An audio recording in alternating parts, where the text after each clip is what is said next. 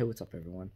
So, I posted a quote yesterday um, that got a lot of people talking about things, and I got a lot of private messages that were asking, what does it mean? So, I thought what I would do is I would just kind of give you my uh, idea as to why I posted it. And it comes from many masters, it comes from uh, Jesus' walk, it comes from Buddha's walk, it comes from all of them that that have actually walked this. And the quote that I did was, There are three states to awakening the first one is that you wake up to yourself. Now, anybody that has actually um, been through this understood it instantly. For me personally, it was a mix between my reality cracking with the Mandela effect. Um, you know, I fell back on the Bible because that's what I knew, and the Mandela effect was affected by the Bible. You know, I I've read the Bible so many times, and I have never seen the word the Matrix in the Bible. It, it just fried my brain. And then when I saw the lion will lay down with the wolf, that hit something in me that just it just did not make sense. Um, I am a Leo uh, in the church. It's a big thing about the lion, you know, the lion of Judah, and so I knew the quote was always "A lion will lay down with a lamb, or a lamb will lay down with a lion." And so when I saw a wolf, I thought, you know, that, that's just really weird. So I couldn't even fall back on the things that I was comfortable with uh, to understand my own experience. Right, the Mandela effect just just fried my brain. It just it cracked my reality in ways that I had to look for different research to ty- to try to understand.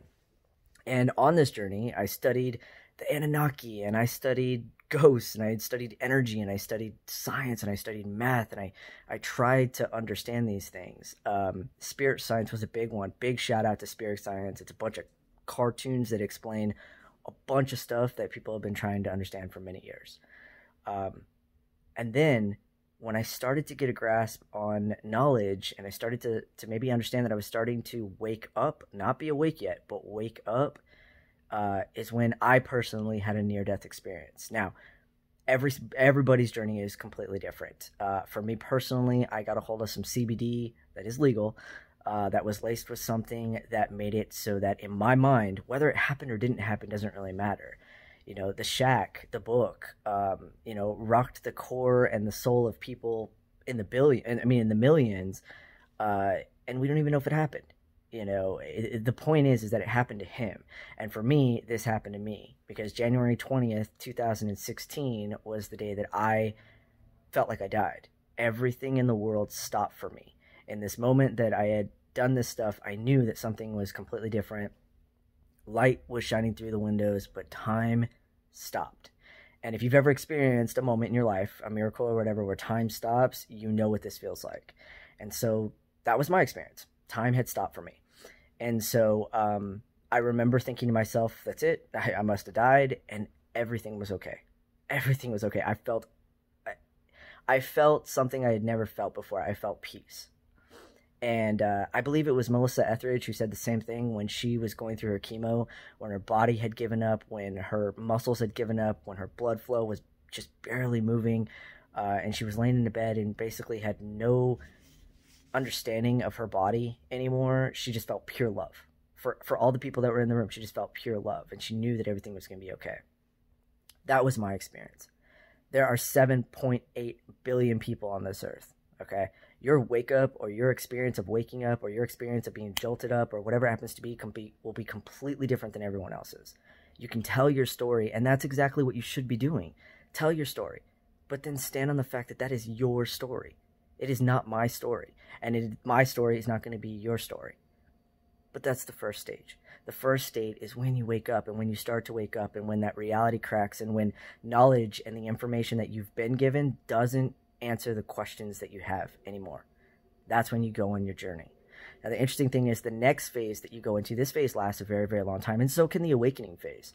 Many people will get frustrated. They'll get, they'll feel like they're in the dark. I know for me personally, I started studying the Illuminati. I started studying the elite. I started studying the uh, rings, the pedophile rings, and all that kind of stuff. And and I just, I finally just sat there and was like, well, that's it. You know, they basically rule everything, and, and it's game over uh, it took me a lot to get through these things and to get to the place where I believe Jesus walked, which is that forgive them for they know not what they do. Um, they, whoever they happen to be, whether it's the elite or anything like that, I don't believe that they're doing it out of evil. I think they're doing it out of necessity. I think that in this world, you pick your family and you pick your friends, and those are the people that you're willing to kill for. And if eight point something million people below you are not your family and your friends, you're willing to make the sacrifice. And I don't see that as evil as much as I see that as deluded. I see that as love because it means that you loved your family or you loved your friends enough to cross those lines. Um, and I think that Netflix has done an amazing job of explaining that. You know, you watch all of these Netflix documentaries where you start off at the very, very beginning and you hear their story and you go, ah, that's why they did that. That's why the cartel grew into what they did. That's why, uh, you know, the Knights Templar or any of that kind of stuff did what they actually did. Um, I still stand on the fact that I believe that everything starts out of love. And if you can't find the love, then you don't understand why they did what they did. Nonetheless, that's my personal belief. But the next phase that you get into is going to be waking people up. Because, see, by yourself, you are everything that you want to be. You can be enlightened, you can be kind, you can be compassionate, you can be uh, caring, you can think all of these things about yourself. But until you actually have somebody to be kind to, to be compassionate to, to look in a mirror and reflect and say, oh, okay, get in a relationship with somebody and find out whether or not you really truly believe the things that you're reading and the things that you say that you do believe. That's where people come in. People are here. Everybody in your life is here for you to find a new area in the sand to draw a line and say, okay, this is the new me. And now you get to act it out. Okay. Knowledge will always keep flowing and you'll find new things that bring you up and new things that inspire you, but it's all up here. It's all a concept until you actually do it in the real world, until you actually leave your house. And I went through that. I was enlightened. I was on fire. I was studying my nine vibes. I was doing all these different things. And then I realized I was in my room by myself. I was the guy in the cave who wasn't really doing anything. And so I went out into the world and I got a job. I became a dog trainer.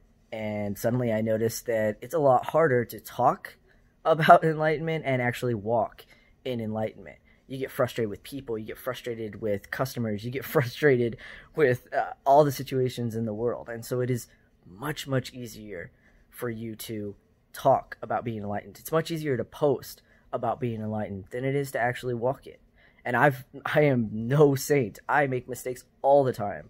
Uh, my girlfriend and I will have a conversation. I'll get a little bit snappy, and then I'll be like, "Ah, sorry, that was me." That's you know, everybody goes through that. All right. But the next phase that you go through is the one where you actually bring what you know, your awakeness, to the world. And you think that you have the answers. And so you start talking about them and you start sharing them. And you even start kind of going to the ones that led you down the other path. You start talking to Christians about these different things. You start talking to people in your family who really played a role into why you are or why you followed the path that you followed. You you rebel basically. But you do it of love. And you say things like namaste my brother and, you know, you are my friend and I love you and all these different things, but there's a difference again between talking about it and actually doing it. And so you go from person to person and you try to shine your really awesome and amazingly great light into their eyes. And you blind them. And you do it every single time. Because the thing that you'll finally learn after you go through this and you go through this and you try to heal people and you try to force your will onto them because you know what is best, you come to a place where you realize no one woke you up. The universe did. God did. The source did. The energy did. Whatever it is that you want to call it, that's what actually got to you. Nobody grabbed you, shined a light, and was like, this is the way that it is, and you must do it. And so you, you understand that. You understand that it's the letting go that actually is the thing. And more importantly, it's not the talking about being these things, it's the living it if you actually wake up every single day and you live your life the way that you talk about wanting to live your life, people will see it because you'll become a light. You don't have to go and shine your light. You become the light. And one of the messages that you can pick up or, or um, that explains this is Jesus. Because everybody thinks that Jesus just laid his hands and was like, You're healed, you're healed, you know, very Oprah, you get a healing, you get a healing. But that's not actually the truth. Jesus only healed people that came to him.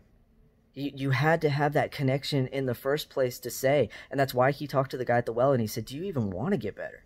Like, I'm not even to bother with this. Do you want to get better? And the moment he said he did, now Jesus can work within that time. Now Jesus can work within that space. He could have. I mean, think about it. If you think about the power of these people that have walked before, they could have healed and changed everything, but they didn't. Because it's not your right to put your will of rightness onto someone else's journey. And I'm not talking about Taoism. Okay, that's a little bit different. And and again, another sector that you can get into, which is really awesome. I love the flow. Uh, I love the messages that come with it. But that's not what I'm talking about. What I'm actually talking about is living your life so that you become a ripple that gets sent out in energy. It doesn't have to be forced.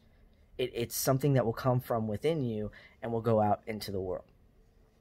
And when you get to this phase, when you get to the end of the second phase, when you stop trying to save people and you stop trying to force your will and you stop trying to change things externally and you start realizing that you can change them internally, is where the next phase comes in. And the third phase is when you realize there are no others. The whole time you were trying to wake these people up and save these people and help these people, you finally come to a place where you realize that there are no separations. And so, if you were awakened in your walk and where you were and in your darkness, so too will other people. And the other thing that comes into this, and this is the hardest part, I think, of the third phase, is that this is the moment that you actually get tested at the greatest level of your faith. It doesn't matter what path you walk, it doesn't matter how you got to the top of the mountain. The view will always be the same from the top, depending, of course, on what you believe. But the thing that really does matter is that when you get to that, that third phase, you let go of all fear. You have to. You have to let go of death, and you have to let go of sickness, and you have to let go of darkness, and you have to let go of fear. And when you let go of fear, when you truly let go of fear, is the moment that you actually realize it was always about you.